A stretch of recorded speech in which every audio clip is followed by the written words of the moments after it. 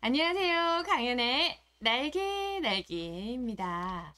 자, 오늘은 여러분들께서 너무너무 좋아하시는 2PM 의 멤버 우영님의 MBTI 가볼까요?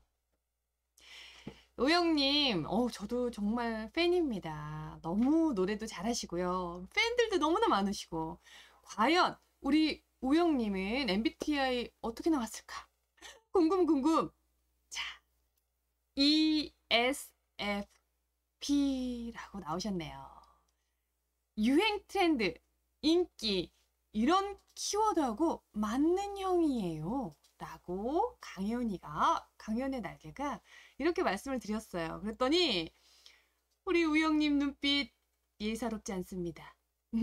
별로 마음에 안 들어하는 눈빛인 것 같은데, 뭐, 타고난 연예인, 어, 주목받는 것을 즐긴다, 다정다감하고 친절하다, 적응을 잘한다, 사람들과 잘 어울리지만 때로는 매우 개인적이다.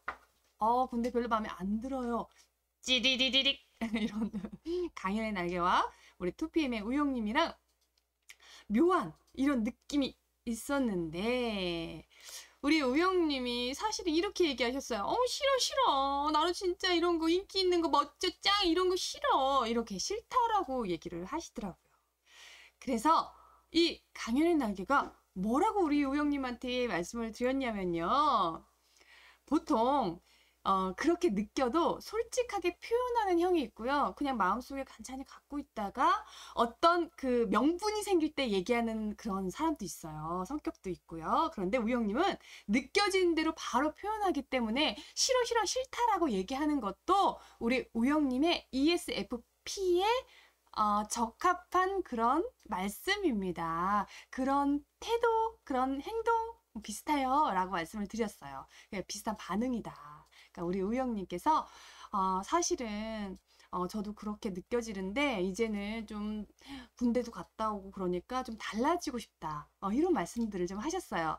그런데 ESFP가 게임할 때 제가 어, 같이 참여를 하면서 알려드렸어요. 우리 우영님은 다른 멤버와 다르게 어, 똑바로 써. 그 위에다 위에다. 어, 이렇게 쓰면 더 좋겠지. 이렇게 하란 말이야. 이렇게 스스럼 없이 다 표현했어요. 그러니까 본인께서 그러니까 지 할 말 다 하는 앤 거죠. 이렇게 얘기를 하시더라고요.